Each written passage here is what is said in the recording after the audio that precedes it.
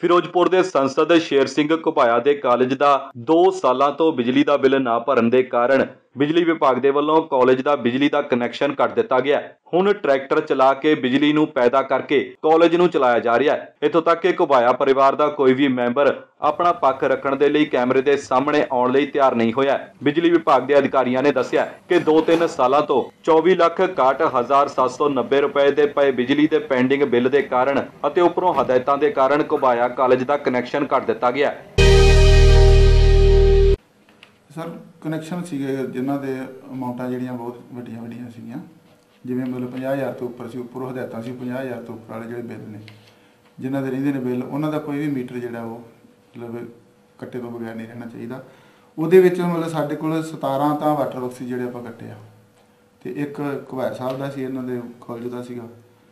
ਉਹਨਾਂ ਦੇ ਵੀ ਪੈਸੇ 24 ਲੱਖ ਤੇ 61790 ਰੁਪਏ ਸੀ। ਤੇ ਇਸ ਕਰਕੇ ਉਹ ਵੀ ਕੱਟਣਾ ਪਿਆ।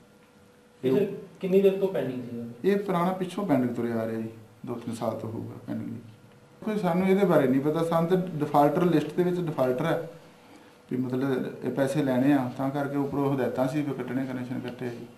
ਹਾਂਜੀ। ਜਲਾਲਾਬਾਦ ਤੋਂ ਗੁਰਪ੍ਰੀਤ ਸਿੰਘ ਦੀ ਰਿਪੋਰਟ ਜਗਤ ਸੇਵਕ ਵੈਬ ਟੀਵੀ। Audio Jungle.